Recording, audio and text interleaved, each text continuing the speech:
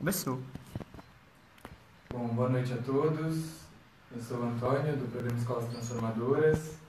Hoje aqui no nosso live da Base Nacional Comum, a gente está com a Ana Helena Altfelder, que é pedagoga com especialização em psicopedagogia, mestre e doutora em psicologia da educação e superintendente do SEMPEC. A gente está com o Moacir Fagundes, que é professor de História na Escola Municipal Anne Frank, é licenciado em História, bacharel em Museologia, com especialização em Educação Básica com foco em Juventude na Escola, e com a Fátima Lima Verde, que é educadora e ambientalista, fundadora e diretora da Escola Vila em Fortaleza. Bom, pessoal, é, a gente queria começar o nosso live é, perguntando um pouco para a Ana Helena o que, que é a Base Nacional Comum e como é que foi o seu processo de construção. Então, acho que a primeira coisa que a gente tem que ter em mente é que a base não é o currículo. Existe uma diferença entre base curricular e currículo.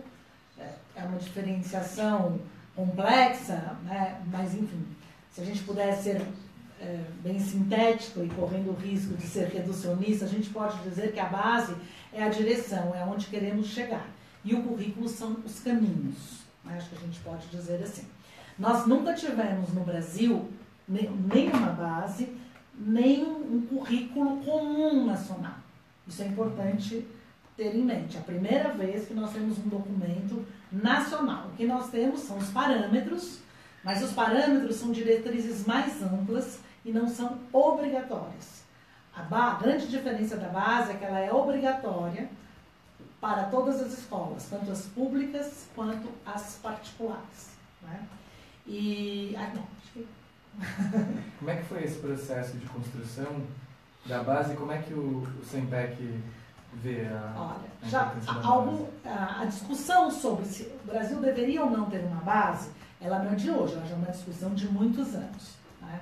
E o SEMPEC tem participado deste debate, sempre se posicionando a favor uh, da construção de uma base. E, e de onde vem esse nosso posicionamento? Uh, vem de dois lugares. Primeiro, porque o SEMPEC tem uh, uma, uma um, em 30 anos, esse ano nós estamos fazendo 30 anos, a gente tem uma ampla experiência de formação de professores, de diretores de escola, de gestores eh, técnicos de secretaria das redes públicas do Brasil todo. todo. Eu estava conversando agora aqui com o Moacir, ele estava lembrando que algum tempo atrás nós já nos encontramos aí numa formação em, em, Vespasiano, em Minas Gerais, enfim. É, eu acho que essa experiência nos mostra que os, tanto professores, quanto diretores, quanto técnicos de secretaria, principalmente os de pequenos municípios, ansiavam pela, pela, pela, por uma base curricular que pudesse ajudá-los a elaborar os seus currículos, os seus projetos políticos pedagógicos e os seus planos de aula. Segundo, é que nós acreditamos que a base significa a garantia de direito. Uma base curricular significa que o país assume o que cada criança, adolescente, jovem tem de fato o direito de aprender. O direito é igual para todos. Então, sem dúvida, sem dúvida nenhuma, caminha no enfrentamento da desigualdade e na promoção da equidade. Por isso que a base é importante no nosso entender. Moacir, eu queria que você começasse trazendo um pouco para a gente como é que uma escola pública municipal da rede de Belo Horizonte, como no caso da Unifrank, que, enfim, é uma escola transformadora, tem toda uma proposta pedagógica diferenciada, mas como é que a, que a tem olhado para a discussão da base, tem encarado a, a, a possível existência da base? É, Antônio, é, primeiro, boa noite a todos e a todos. É, eu compreendo que essa questão da base, que ela ainda parece que não caiu né, na, no, na boca do povo e tudo. A sigla ainda a gente é desconhecida por muitas pessoas ainda, né, inclusive a sigla. E acho que a gente está começando a fazer, trazer esse termo, esse debate para as, para as escolas. A gente percebe que na, na academia é, esse debate já tem professores se posicionando, né? Mas em relação à escola, acho que está chegando agora. Acho que até esse debate é um momento, uma oportunidade de contribuição de, de, para tentar instaurar esse movimento de pensar a base, de criticar, de sugerir. Né? Então, é, acho que Anne Frank vai se debruçar, precisa se debruçar sobre esse texto até para se posicionar. Né? Acho que não dá para não tomar posição, não dá para nos omitirmos em relação a esse texto que é tão importante, né? Uhum. Fátima, e em Fortaleza, como é que está a acolhida da base? Bom, a discussão está em, em várias universidades, né? tem muita gente discutindo sobre isso. É, eu acho que assim, como a gente tem uma base comum num país como o Brasil, né? com essa diversidade toda, é, eu acho que é uma coisa que a gente precisa ver e procurar entender. Por exemplo, o trabalho que eu fiz numa, no município aqui de, de Beberibe, eu trabalhei em três escolas municipais. É, uma mais para o lado do sertão, que tinha uma cultura totalmente quilombola, e outra a 25 quilômetros, com a cultura totalmente indígena, a, a terceira também, que era do lado da praia, a cultura era, era indígena. E o que eu percebi ao longo dos quatro anos que eu trabalhei nessa, nessas três comunidades é que assim a distância de uma para outra era mínima, mas a cultura era totalmente diferente. Né? Mesmo, no mesmo município, no mesmo estado, como a gente abraçar todos esses saberes, todas essas é, diversidade humana que a gente tem. Essa a dificuldade que a gente encontra nesse sentido, porque assim a escola ela tem um papel de formar o cidadão, né? Porque qual é esse cidadão que a gente é, necessita, né? Um país desenvolvido é, que tenha a sua população vivendo dignamente. Porque eu acho que se a educação não, não exercer esse papel, de nada adianta a gente ter um país desenvolvido economicamente quando as pessoas vivem indignamente. Então, assim, eu vejo que o nosso papel como educador é exatamente tentar melhorar o mundo. Se o conhecimento, a informação, não tiver a serviço do bem-estar da população, eu não vejo sentido educar.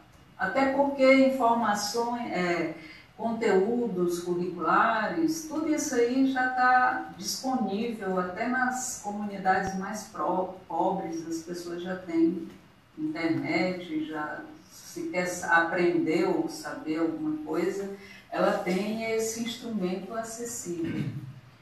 E eu penso assim, é um grande desafio, né, Ana, fazer essa base comum para essa diversidade toda e como seria isso. Eu, eu penso muito nessas questões, né, assim, a gente precisa entender que as, as, os saberes, né, a, a, diversidade, ela está presente em todo o nosso país, a, em todo em cada canto do país. Né?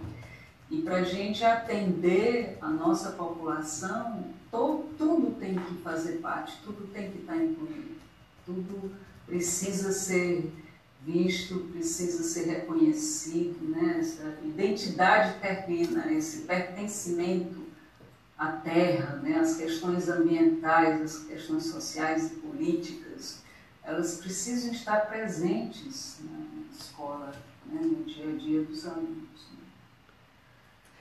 Né? Então eu vejo muito por aí. Né?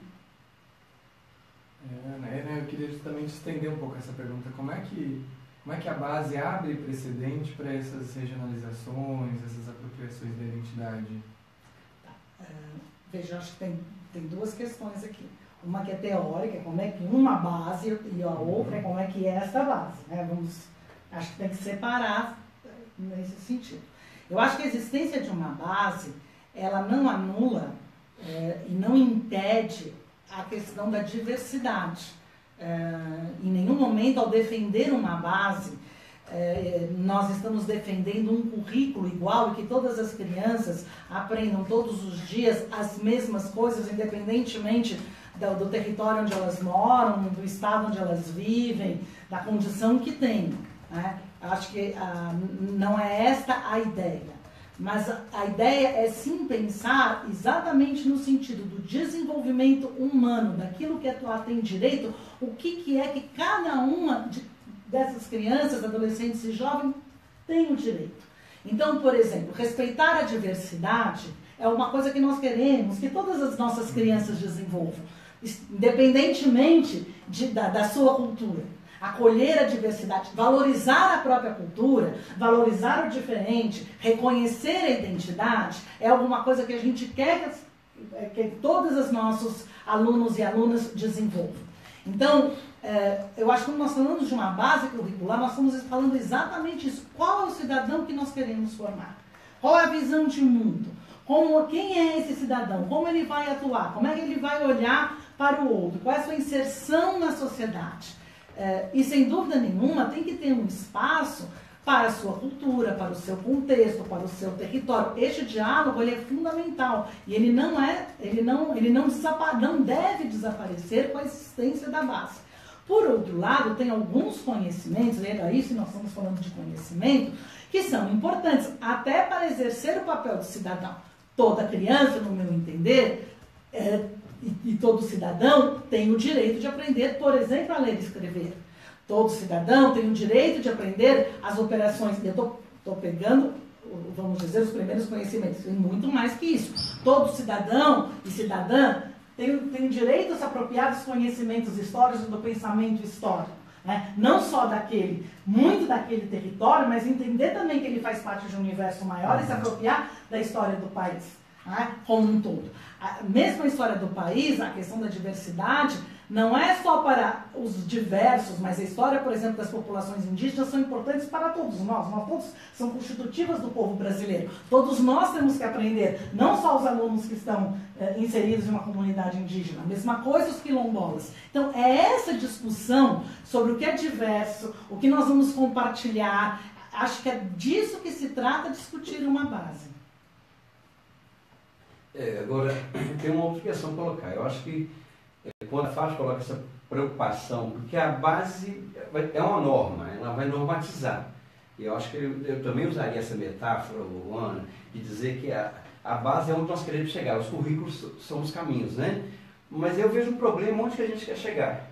Eu, pelo que é apontado, esse destino esse comum para a gente, que é apontado por, por essa base, eu acho que ela ela acaba se negando e se contradizendo. Aí quando você diz, eu concordo nisso aí, que é, o respeito ao outro, a alteridade, a empatia, é, isso é uma coisa comum que deve ser ensinado a, to a todos, né? É, tudo bem, concordo.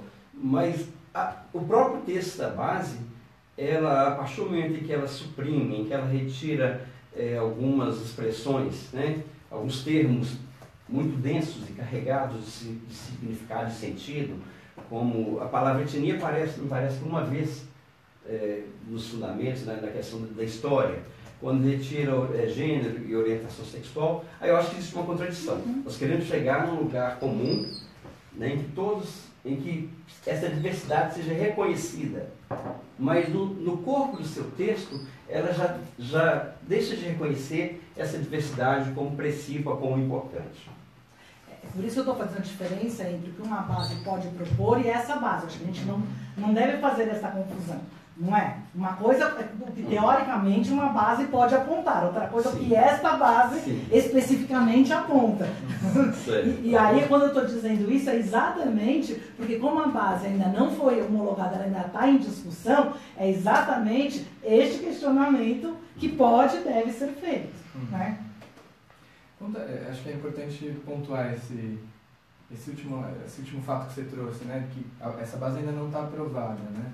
O que, que, o que, que, ainda pode mudar? O que está em aberto? Como é que está esse processo? Essa, a base foi enviada. É importante uh, entender que nós estamos na terceira versão da base. Uhum. Né? Então, a base começou a ser uh, construída em 2014. Em 2015 houve um lançamento oficial pelo então ministro Renato Janine Ribeiro. É, a base foi lançada. A partir de então, é, houve um tempo onde essa base é, foi discutida, teve um site onde ela ficou disponibilizada, as pessoas puderam fazer uma contribuir, foram 12 milhões de, de sugestões, observações, se eu não me engano. A Universidade de Brasília, UNB, fez então uma sistematização e a partir disso um grupo de especialistas é, se organizou para fazer a segunda versão. Uhum. Então foi feita uma segunda versão. Essa segunda versão foi então entregue, foi o final da gestão é, do, do, ministro Mercadante, se eu não me engano, foi entregue ao CNE, que é o Conselho Nacional de Educação, um DIME, que é a União dos Dirigentes Municipais de Educação, e concede, que é o Conselho dos Dirigentes Estaduais de Educação. Então, essas três organizações se reuniram e, a partir da segunda versão, organizaram conferências estaduais, é, com a participação de estados e municípios que analisaram, então, essa segunda versão e produziram documentos, síntese de contribuições à segunda versão. Então, essa terceira versão, que é essa versão que está disponibilizada, ela foi elaborada a partir, então, das contribuições das conferências estaduais sobre, sobre a segunda versão. A, essa terceira versão, ela foi entregue ao Conselho Nacional de Educação, certo? É, e agora, o Conselho Nacional de Educação está analisando. Ele está analisando nas suas câmeras, com os seus conselheiros, e vai realizar cinco conferências, uh, audiências públicas nas cinco regiões do Brasil. Eu não tenho esse calendário aqui comigo, mas uh, já está marcado. E o Conselho vai uh, aprimorar, modificar, interferir na base a partir dessas audiências e a partir dos seus pareceres. Uhum. E aí, então, a versão será enviada ao MEC. Eu acho só importante a gente dizer é, que nós não podemos nos esquecer também que a base, é, e de novo eu digo, uma base, não necessariamente esta base, ela tem um respaldo legal. Ela está prevista na Constituição Federal de 1988.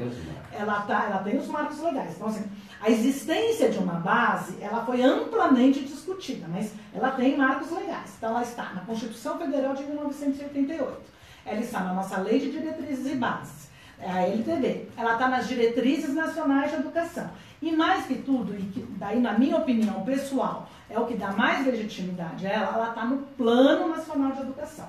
Lembrando, previsto no Plano Nacional de Educação. Todo esse processo que a gente está descrevendo, inclusive, aí a, a entrega do MEC para o CNE, o papel do CNE é previsto no Plano Nacional de Educação.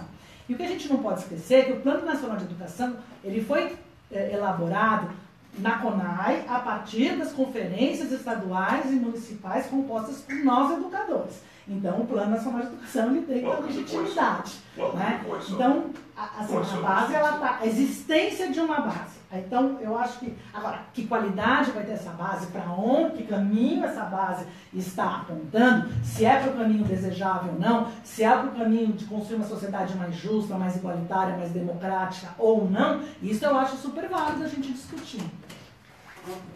Eu me pergunto, gente, é, se, se a base é o que vai resolver o problema da educação no nosso país. Ah, não é.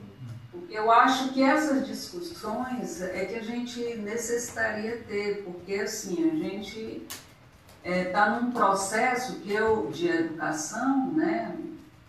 Assim, as escolas estão ainda é, é, na, na, época que eu estudei, o modelo ainda é o mesmo, né? Esse, a lei de diretriz de base, os parâmetros curriculares, nem todas as escolas aderiram, continuam aquela escola tradicional, os meninos enfileirados, né? é, é, a, a, não, não rola, o professor está deprimido, porque não consegue encantar os alunos, não consegue dar uma aula, os alunos não têm interesse. Então, eu vejo um problema tão grande na educação E eu fico pensando, né, um, um todo um desenrolar para discussão da, da questão da base, e eu me pergunto, será que o problema da educação vai ser resolvido com essa base? Será que não existem inúmeras outras questões que é, o MEC, né, Conselho de Educação, poderia estar é, averiguando, estudando, pesquisando, né? Então, eu acho que a gente precisa também refletir mais sobre a questão da educação no nosso país. A gente precisa. Sabe, eu acho que quanto mais é, amarra, diz como é que é, vai ficar tudo igualzinho. Todo, não, não vai caminhar para onde país precisa, para onde as pessoas precisam. Né? Então a gente precisa refletir muito sobre a questão da educação no nosso país. Né? Eu acho que a gente discutir uma base é um ponto, mas tem muitas coisas que a educação realmente não está. É, é, o, o, o, Conselho de Educação, o MEC, ele, ele não vai nos pontos né, que precisam realmente ser trabalhados. Tipo a valorização do professor. Poxa, quando é que o país vai reconhecer o professor? Né, que é o formador do juiz, do político, do médico né? Então, assim, um país que não se preocupa em valorizar os formadores. Né? Então, assim, eu vejo, eu, eu acho que eu estou saindo um pouco aí da, da discussão, mas é porque é uma preocupação que eu acho que é necessário a gente também ter e fazer. Né? É, são discussões importantes para que é, esse modelo de educação ele volte a encantar os alunos. Os alunos não querem estar na escola, não é toda escola que o aluno quer estar. A, a escola, sabe, não respeita o, o, aluno. O aluno hoje ele quer ser protagonista, ele, ele tem conhecimento, ele sabe atrás. E continuar aquela aula, ele assistindo um professor destrinchar um conteúdo isso para ele não é interessante. Então, acho que o problema da educação é muito maior e a gente precisa também ter um olhar mais sensível para todas essas questões. É, acho que o ponto, o ponto que você traz, Fátima, levanta um pouco o olhar do PNE como um todo, né? Que a gente poderia. Que a, base está dentro de uma meta do PNE. Que são 20. Que, que são 20 e que trabalham, e aí versam assim, um pouco mais amplo dentro dessa reflexão como um todo, né? Mas mas trazendo um pouco o gancho do que você levantou, acho que a, a, pergunta que a gente queria trazer agora é como é que na opinião de vocês a, a base, como ela como ela está sendo construída, ela pode colaborar para que, que a gente consiga é, preparar e apoiar a formação de estudantes que sejam capazes é, de serem agentes de transformação na sociedade. Né? Como é que a base colabora para isso? E aí como é que a base, é, junto, é, um, uma, uma pergunta anexa, né? como é que a base demanda também determinadas coisas da formação dos educadores e, e, e do olhar da escola sobre o processo educativo como um todo, é que já são demandas de saída, né? Que o fato da base, é, vamos, vamos dizer aí, né? Que o fato da base conseguir ser colocada para a sociedade, né? Não só como, não só sendo aprovada, mas ela sendo operacionalizada, né? Como é que ela permite que a escola abra mais precedentes aí para a formação de sujeitos transformadores e como é que ela demanda na formação dos educadores esse, esse um suporte nesse sentido, né?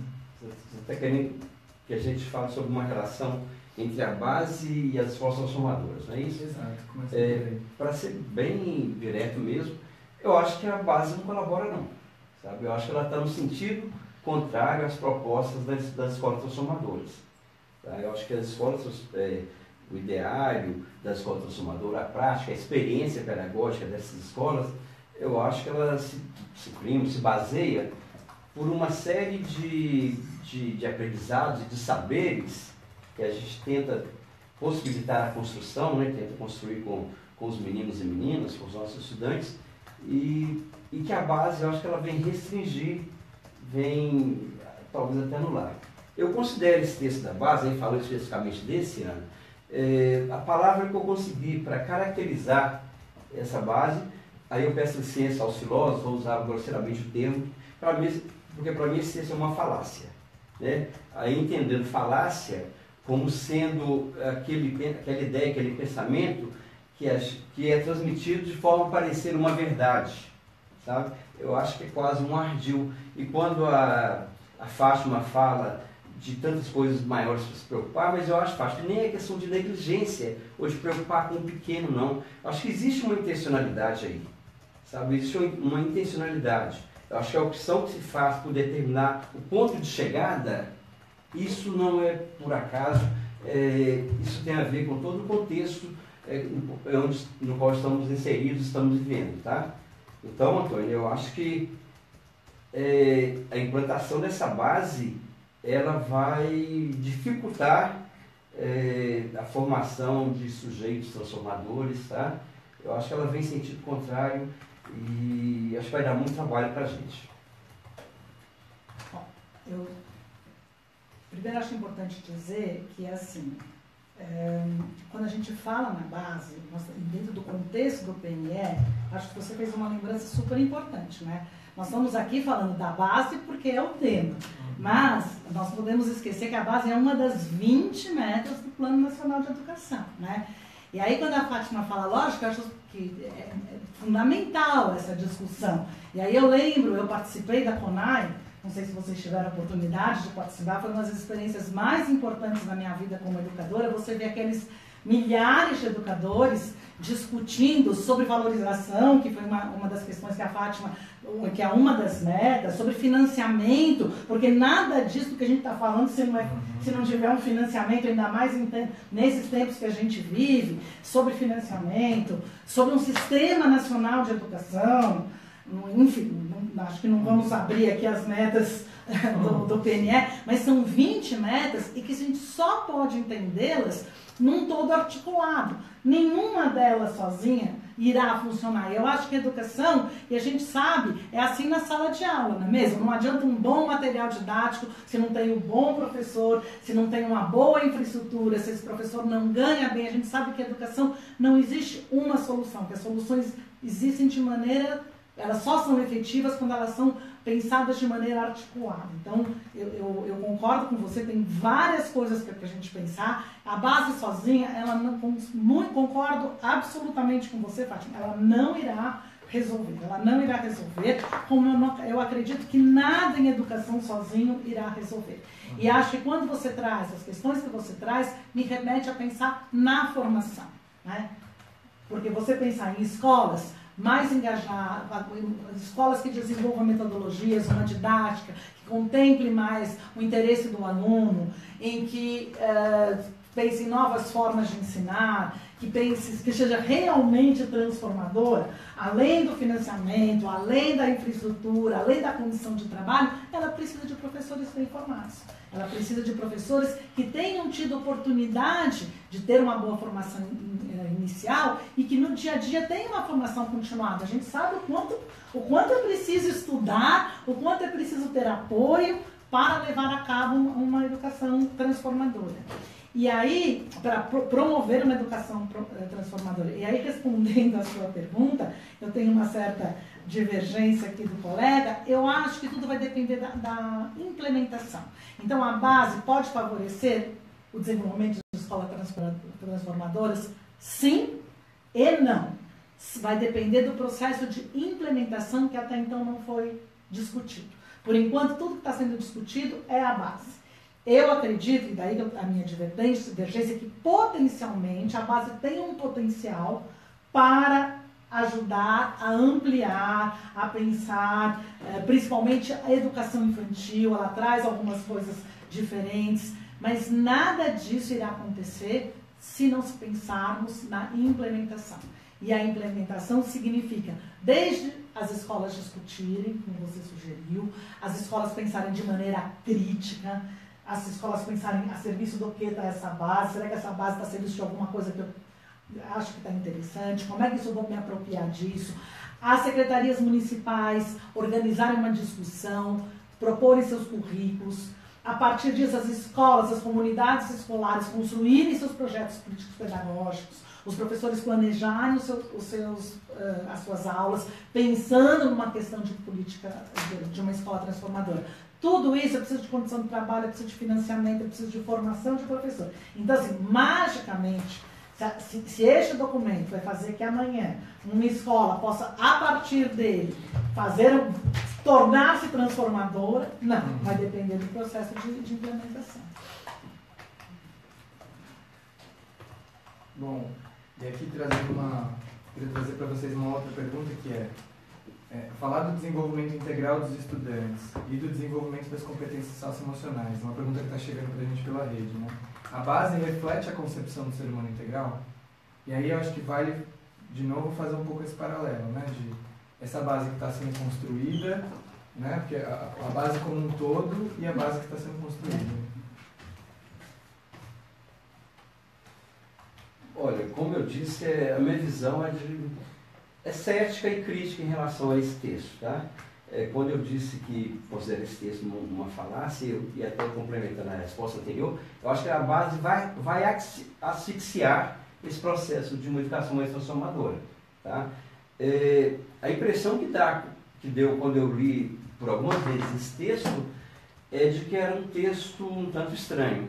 É, numa primeira leitura mais rápida e rasa, a gente vislumbrava algumas coisas, algumas palavras-chave que são marcos que simbolizam avanços, tá? Mas parece que pegou-se um texto e salpicou, foi salpicar algumas palavras-chave que, que é, denotam avanço, né? É, mas para tentar até vender essa ideia de que a base, ela, de que a base ela é avançada, né? ela avança em relação ao anterior eu tive o trabalho de comparar com a segunda, com a segunda, com a segunda versão. E aí a gente tem uma grande, uma grande decepção, sabe? É, o que a gente vê que parece desse texto é que ele próprio se consome, ele próprio se destrói. Porque como, que ele pre, como pregar a questão da formação integral, né, e o outro item que você falou, formação integral. Formação de sujeitos integrais, integral. como, é que, como é que a base reflete a concepção do ser humano integral? Pois é, é, ele cita várias vezes é, essa formação integral, né, mas ao mesmo tempo ele desconsidera essa, essa integralidade, essa pluralidade do humano, sabe? É, acho que entender o, o, ser humano de forma integral é entender é, as suas, as suas, a sua posição no mundo, a sua identidade, né? É, as suas orientações, os seus desejos até. Então, a partir do momento em que, em que a base se cala é, em relação é, à cultura afro-brasileira, né? É, se cala em relação à questão da, da orientação sexual, da questão de gênero, apenas cita algumas vezes. Né? A partir do que ela se cala, acho que ela está negando esse, esse ser de forma integral, essa formação da integralidade do ser humano. Tá? Então, é, é isso que eu penso em relação essa base que para mim ela não, não vai contribuir, não contribui não, ao contrário, ela gera um grande problema e que a gente vai ter que lutar bastante para desconstruir. Então, eu vejo assim, a, essa questão da, da, de você desenvolver o ser humano na sua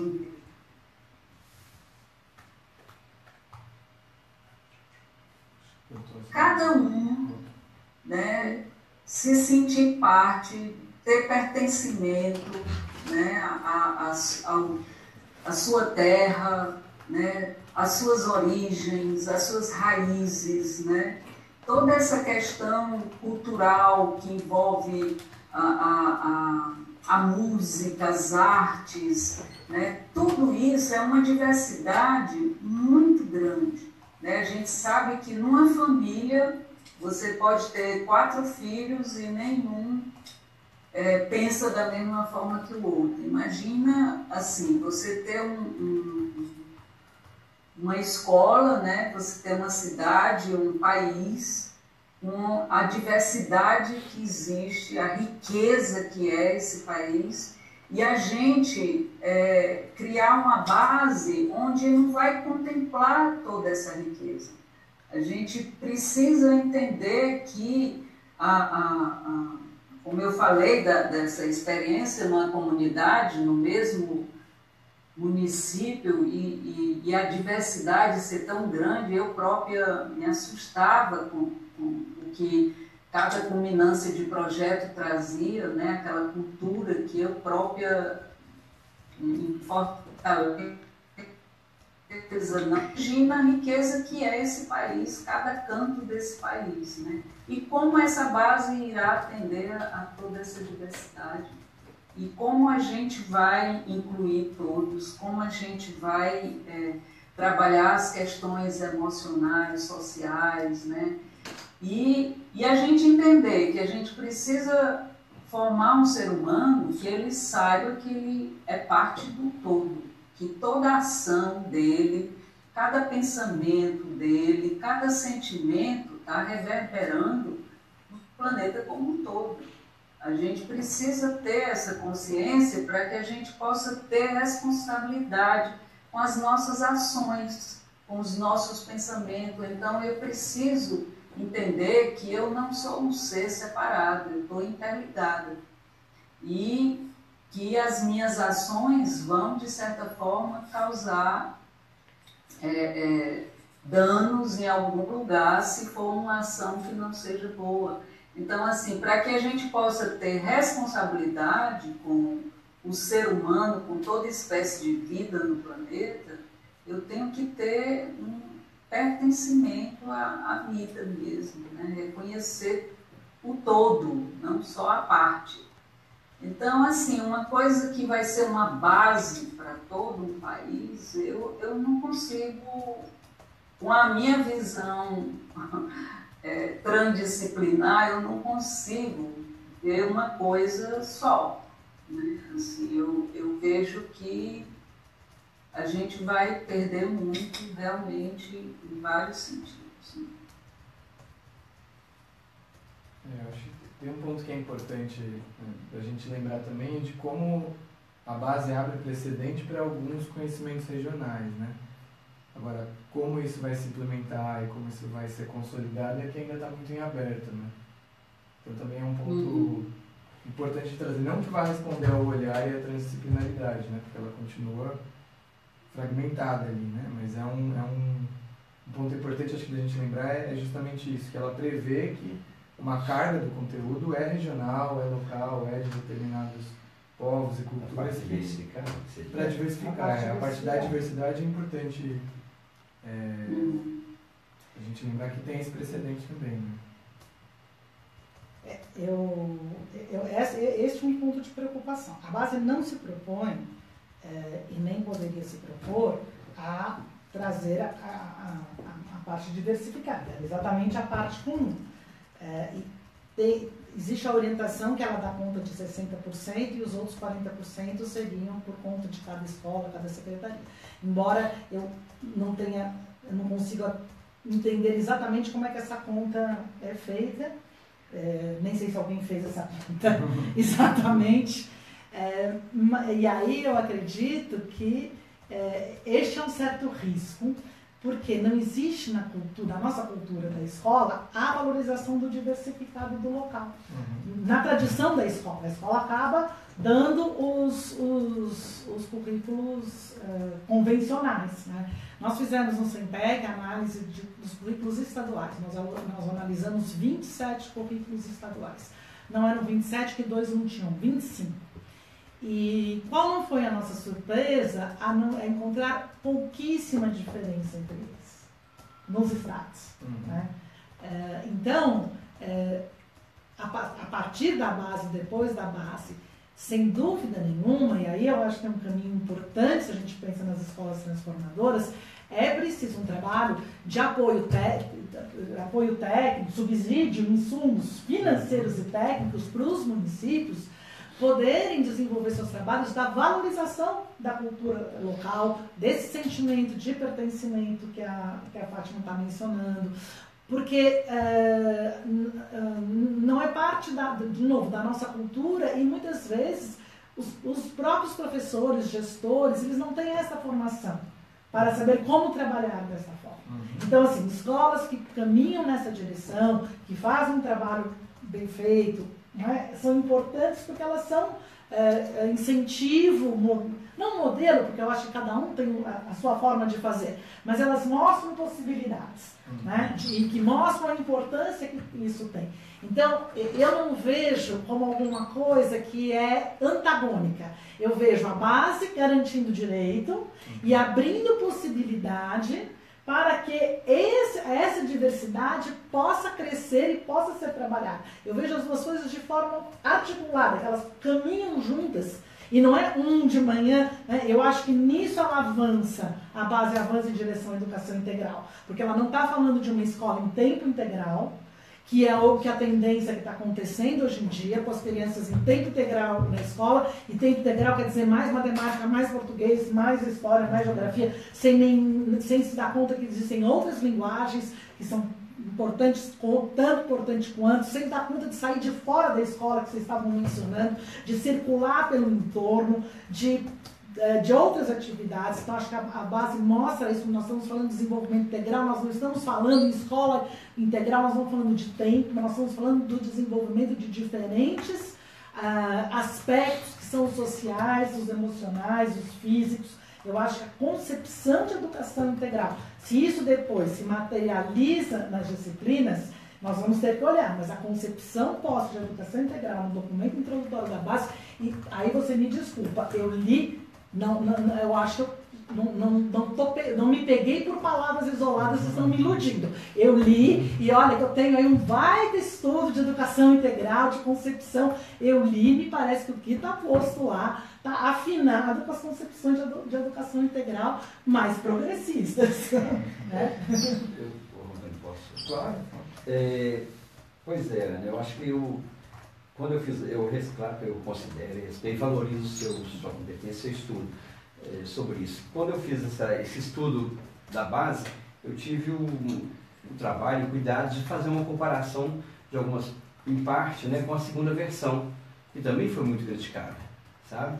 E, e aí, é, nessa comparação, mostrou para mim a, a, grande discrepância que existe em termos de de avanços ou de, ou de ações ou de pensamentos é, que chamam mais plurais e que chamam mais para andar para frente, sabe? E quando eu, eu falo, eu, eu quero dizer do lugar da, da história, que é a minha área de atuação, né? Então, para ser sincero, eu, eu me de, de, demorei um pouco mais tempo dediquei mais tempo à análise da proposta para a história em todos os anos iniciais. E aí, quando a gente faz é, o que eu percebi, e aí o que eu venho propor como professor de história, como historiador, é, e, e, garanto para vocês que essa fala não é só minha, são de muitos companheiros de história, o, em relação a esse texto, o que, eu venho, o que eu tenho a propor é uma subversão dessa, dessa base. Eu acho que os professores de história, de filosofia, professores de humanas, já durante a história do nosso país, da educação do nosso país, houve momentos na época da ditadura militar em que tinha moral cívica, né? em que a gente conseguia subverter as orientações de trabalhar a moral cívica. É, a gente subvertia isso em sala de aula. Eu acho que vai ser preciso que a gente retome essa prática de subverter essa e desconstruir isso aí.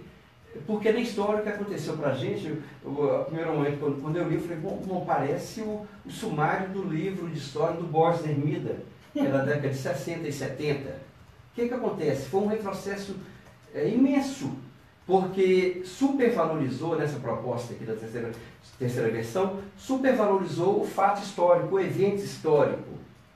É, a gente pega um, um termo da, da, museologia e até do marxismo também, é, o fato histórico ele foi transformado em fetiche. Ele é tão supervalorizado que ele acaba ofuscando todo o processo, os sujeitos, e o processo que, que fez com que ele acontecesse. Tá? É, quando, comparando aqui nas habilidades da, da, da, da terceira versão, por exemplo, 50% foram 138 habilidades. 50% dessas habilidades eram, eram, é, corresponde a identificar. Para ser justo, é, desses 50%, talvez umas 10 é, é, habilidades estão identificar ali alguma coisa. Mas em sua grande maioria, 50% é, corresponde a identificar, quer que o aluno identifique. Ao passo que a habilidade de analisar, ela corresponde a 8% só das habilidades. Então, quando eu falo de história, a minha crítica é muito nessa, nessa ótica, quando o fato histórico é eleito como supra-sumo da, da história, o que, que a gente quer? Voltar numa corrente, num pensamento historiográfico, um pensamento histórico é, de, de, de décadas, séculos atrás, né, em que dizia que, que o historiador ele deve o quê? Ele deve considerar a verdade histórica. Então eu estou me imaginando, pegando, analisando um, um fato histórico, com o bisturi cortando isso aqui é o fato, e só apresentar isso para o aluno, como se houvesse possibilidade do professor e do historiador ser uma pessoa neutra, de uma asepsia que não existe. Tá? É, ele, ele impede, por exemplo, ele diz que é só como se fosse apresentar. Então, a função do profissional, do professor, do historiador, é justamente é criticar, é julgar. Então, ele impede que você se, se posicione.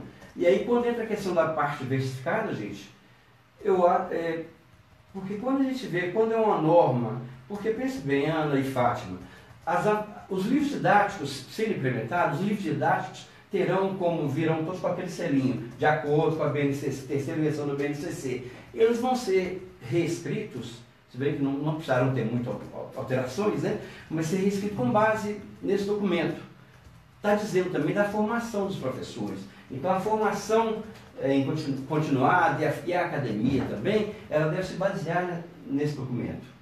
Então eu acho que isso aí vai impedir, vai asfixiar essa questão dessa parte diversificada. Porque quando for cobrar, vai se cobrar em cima do, do, dos, dos 60%, que é, que é a base comum, que é o núcleo comum. Bom, eu queria trazer uma outra pergunta, talvez a última. Na verdade, eu vou trazer duas juntas, que são sobre educação infantil, da Wanda e da Ana Paula. É, a Wanda pergunta: é, gostaria muito que vocês trouxessem questões referentes à educação infantil né? No momento em que se muda o foco para a experiência da, do professor de educação infantil, como é que a base está olhando para isso?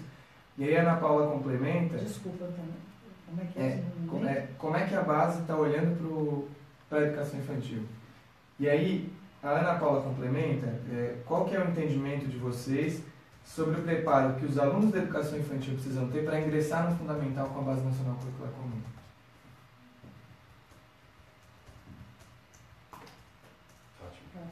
Quem vai falar? Oi? Quer responder, Fátima? Pode. Bom, na educação infantil, né, nós trabalhamos a criança desde de um ano em todos, em todos os seus aspectos. Né? Então, assim, a, a, na escola Vila a gente não trabalha uma criança quatro horas dentro da sala, saindo apenas para o recreio. Né? Nós temos vários cenários na escola onde eles circulam né, e vão trabalhando é, desses vários cenários, as artes, a questão da psicomotricidade, né, estamos se socializando com alunos de idades diferentes, num quintal que a gente tem, um quintal amplo, e assim, desde a questão da alimentação, né, a questão do quadro de responsabilidades, todos eles têm uma responsabilidade, né, desde cedo já. É, essa questão da, da arte está presente diariamente, os laboratórios de farmácia viva, horta, pomar, tudo isso as crianças trabalham ao longo da manhã. Né? Tem aula de música, de corpo, de teatro, de artesanato, de artes plásticas, uma aula cada dia. E assim, esse, esse trabalho de consciência ecológica, ele é presente o, o ano inteiro, né? as crianças cuidam da água, cuidam é, de não ser consumista, é, as crianças desde cedo a, aprendem a ser solidário, as questões indígenas estão na, na, na, mídia, os índios precisando de alimentos, eles mesmos, eu quero ajudar e trazem alimentos, então, assim, campanhas de solidariedade, né, são, eles têm uma preocupação desde cedo com o todo, com o social, com o ambiental, né, e dessa forma eles vão é, crescendo. Lógico que a gente não vai trazer para as crianças do infantil todas as dificuldades que o povo brasileiro enfrenta, de falar questões que para eles são chocantes. A gente mostra tudo, a natureza. E...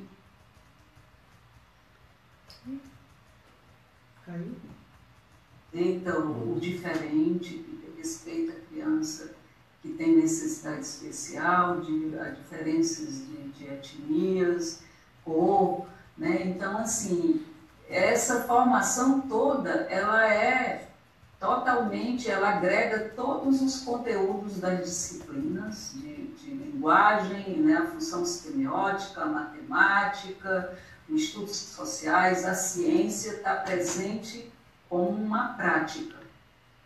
Então, as crianças aprendem praticando aprende ciências plantando, brincando na areia, misturando água com areia, é, na cozinha, na horta, na farmácia viva, com os animais que a gente tem na escola. Então, todo o conteúdo é trabalhado numa vivência prática. E através de todo esse trabalho, ele se alfabetiza naturalmente. Quando a gente vê as crianças estão lendo, né, porque eles ajudam o professor a distribuir o caderno de desenho pelo nome, os nomes nas mochilas, nos copos, né, e, vão, é, através da leitura de rótulos, da leitura de mundo, a leitura aparece espontaneamente, sem nenhuma dificuldade. Né? E entram no fundamental né? Eu ainda considero o primeiro ano como infantil. Né? É, é um primeiro ano em função né, de uma lógica que para mim não, não foi muito lógica, então eu ainda considero a educação infantil até o primeiro ano. Eles ingressam no segundo ano sem nenhuma dificuldade, né, já com a leitura, né, toda a questão da, é, do raciocínio lógico matemático bastante trabalhado, porque a gente trabalha muito isso na prática. E assim, eu espero que o currículo base nos deixe continuar trabalhando dessa forma. É, eu acho que você não terá muita dificuldade não, né, Fátima? Porque é interessante. É, eu acho que na educação infantil, quando eles, quando a base despacha dos campos de experiência, eu acho que isso realmente é, se, se, na, se no, no, ensino fundamental ela não avança na medida que ela continua uh, estabelecendo áreas e disciplinas, na educação infantil desaparecem as áreas e as disciplinas e a, a base se organiza em campos de, de experiência e uh, direitos de aprendizagem, de desenvolvimento, de aprendizagem e de desenvolvimento.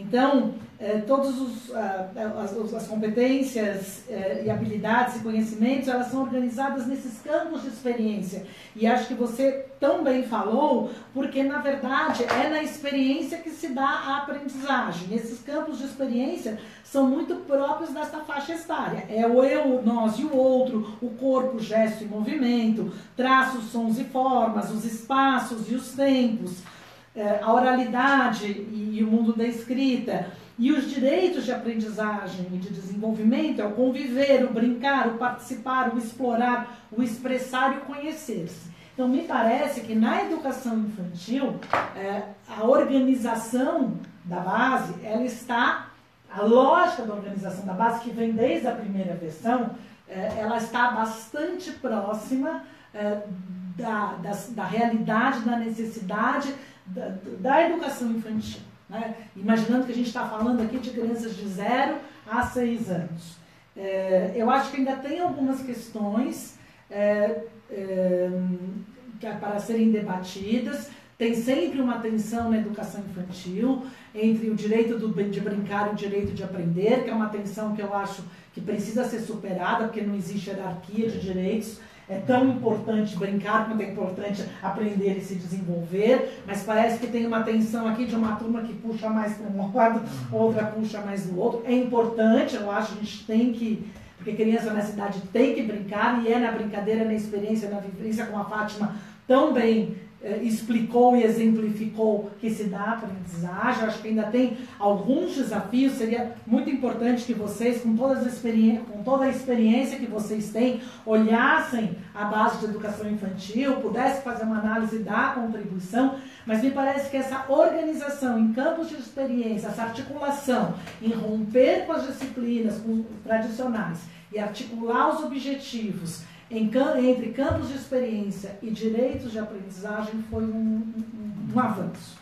Uhum. Uh, depois, a questão da passagem também é uma questão. Uh, quando é feito um bom, acho que aí a Fátima traz um exemplo bem claro. Quando o trabalho de educação infantil é bem feito, a passagem para o ensino fundamental, ela é, ela é, ela é natural. Eu só acho, e eu sempre defendo isso, eu acredito que a Fátima pode concordar comigo, tem que se tomar um cuidado, porque a, a, educação infantil ela tem que estar a serviço das crianças, do desenvolvimento das crianças, e não de um preparo, de uma exigência do fundamental. E isso é o grande problema, muitas vezes, que acontece. Né? É, mas quando é um trabalho bem feito, efetivamente respeita a criança, que ela tem oportunidade de aprender, de desenvolver através da brincadeira, da vivência, ela vai chegar no, capaz de dar conta dos desafios do ensino fundamental. Bom, a gente tem ainda mais três minutinhos. Dá tempo para a gente fazer uma despedida e umas considerações finais. Eu, vou, é, eu, só, eu queria falar um pouco sobre, é, rapidamente que quando Fátima falou no início, eu acho que tem, que tem que estreitar essa, essa distância entre a educação e a vida das pessoas, a vida dos nossos meninos e meninas. Eu acho que essa distância é enorme, né? E para mim, isso, o caminho seria até inverso. Seria partir da vida, partir da vida para, para aí saber o, o que ensinar e o que aprender. Eu acho que esse caminho é inverso, não é, não é do currículo para, currículo para a vida. Isso deveria ser da vida para o currículo. E, e eu, eu tenho eu tenho aprendido, é, na verdade, eu acho que eu estou desaprendendo as coisas que eu aprendi e acho que o, o grande, uma grande, grande lance é esse, né? Você desaprender o que aprendeu, ensinar durante tanto tempo.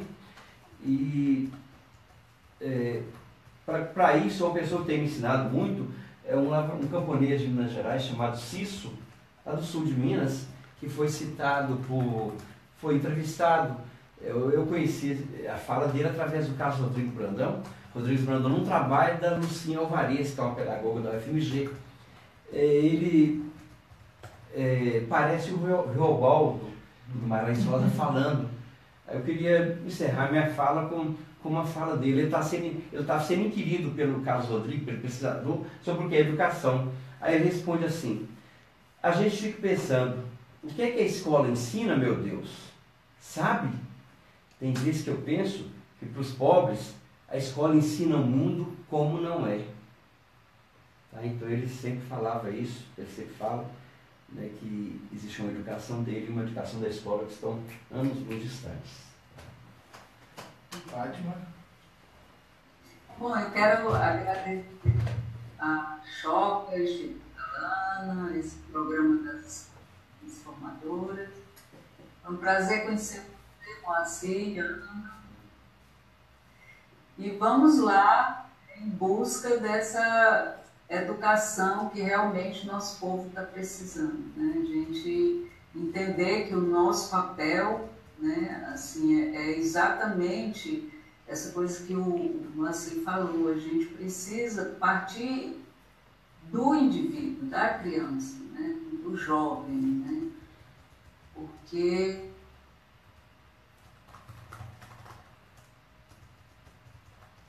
pergunta que meus alunos sempre faziam no fundamental é para que, que eu tenho que aprender isso. Então, se eles não entendem a aplicabilidade desses conteúdos na vida deles, isso não faz o menor sentido. É por isso que eles detestam ter que estar com esses livros aprendendo coisa que não sabem para que, que vai servir. Então, a outra discussão também é essa questão do, do material didático totalmente fragmentado, nenhum faz relação com uma disciplina com a outra, nem com a vida, nem com nada. Então, nós temos realmente vários problemas na educação, né? E quando a gente trabalha com essa visão transdisciplinar, o aluno tem um, um interesse maior, porque ele vê os conteúdos na vida dele, no dia a dia dele, a cada instante. E eu acho que só a educação só vai ter sentido quando ela exercer esse papel, né, de mostrar para os alunos a importância daquilo que ele está aprendendo. E aprender só para passar na prova não faz o menor sentido. Então, muito grata a vocês e uma boa noite. Também queria agradecer o convite. Faz aí quatro anos que a gente está discutindo sobre a base em vários fóruns, em várias instâncias, com diferentes profissionais. E, enfim, é, é um desafio enorme tem, e ainda tem muita discussão. Né? E eu acho que é só assim que a gente vai caminhar. É uma discussão nova. A gente vê que em países que já tem, vem fazendo essa discussão há muitos e muitos anos. Né? É, e a gente está começando, mas não faz mal. Acho que a gente tem mesmo que caminhar, é, conversar de diferentes lugares. É, é bom que as críticas venham, é, as versões vão se aperfeiçoando, não, não ficam boas e acho que a gente ainda tem tempo. Eu, eu, eu acho que nós, não, nesse momento, não devemos parar de discutir. Estão aí as audiências públicas, mesmo que a gente tenha a sensação de que não adianta muito, eu acho que é, é assim, exercer a voz, vamos é ler, vamos, não é preciso, vamos ler, vamos, como dizia Paulo Freire, que educar é preciso ter esperança. É. Então, neste momento, vamos ter esperança de que alguma coisa nós podemos fazer. Né? É, o Antônio Nova sempre diz que a gente não pode pensar em um país que tem uma escola para menino rico e outra escola para menino pobre. Infelizmente, essa é a realidade do nosso país. Então, acho que a gente acredita que o que a gente puder fazer para mudar essa realidade, nós temos que seguir em frente. Eu não agradeci, eu queria agradecer a Choca, prazer de conhecer, Fátima, Ana também. E aí, Ana, só dizer que no finalzinho, na, educação, na parte de educação para economia e opinião, a gente concorda, nesse é. não. okay. Ah, mas a gente deve concordar em mais coisas. é isso, obrigado. Boa noite a todos. Ok, obrigado.